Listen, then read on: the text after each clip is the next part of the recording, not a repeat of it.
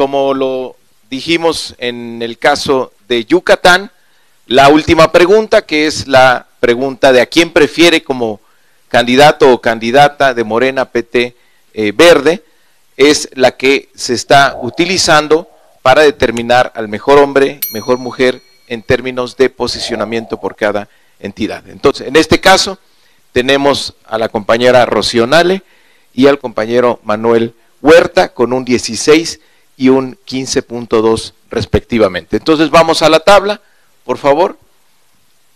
Ya llenamos un estado más. Veracruz. Eh, mejor posicionada y el segundo mejor posicionado.